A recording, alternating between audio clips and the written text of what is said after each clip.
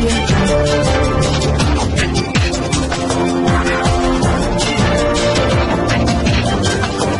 भारत केवल खबरें और कुछ नहीं। नमस्कार मैं हूँ अंजलि। आरपी भारत में आपका स्वागत करती हूँ। तो चलिए शुरुआत करते हैं आज की किसी खास खबर से। गुप्त सूचना के आधार पर पुलिस ने दिल्ली से आए एंबुलेंस को धर दबोचा आज सुबह हरियाणा के गुड़गांव से मरीजों को लेकर एक एंबुलेंस सुपौल के जकराही पहुँचा। एंबुलेंस के पहुँचते ही लोगों में हड़कंप मच गया। आनंद फानन में लोगों के द्वारा सागर पुलिस को इतना किया गया। प्रशासन ने भी मुस्तैदी दिखाते हुए तुरंत मौके पर पहुँच एंबुलेंस सहित सभी लोगों को सदर हॉस्पिटल भेज दिया गया। सदर हॉस्पिटल के एसीएमओ ने बताया कि सभी लोगों को क्वारंटीन में रखा गया है और सभी लोगों की जाँच रिपोर्ट आने के बाद आगे की कार्रवाई की जाएगी। लेकिन सोचने की बात यह भी है कि आखिर गुड़गांव बॉर्डर सील होने के बावजूद सुपौल कैसे पहुँचा? ये बात कहीं न कहीं प्रशासन के ऊपर भी उंगली उठा रही है। कितना आदमी को लेके आ रहा था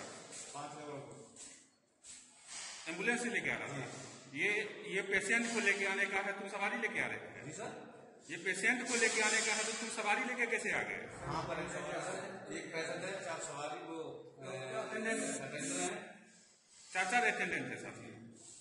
फिर इधर से तुम एक पेशेंट का चार हज़ार एक आदमी का बात किया चार हज़ार में ले जाने का। हाँ सर। सुपौल से दिल्ली ले जाने का। है मेरा क्या नाम है तुम्हारा?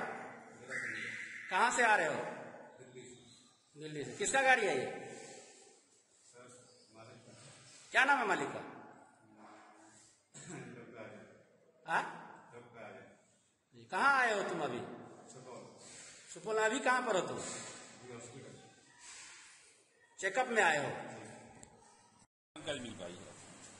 है जो भी कहीं से आएँगे उनको हॉस्पिटल में यहाँ आए क्वारंटाइन में रखा जाएगा उसको जाँच के बाद ही कुछ कहा जाए क्या है उसको।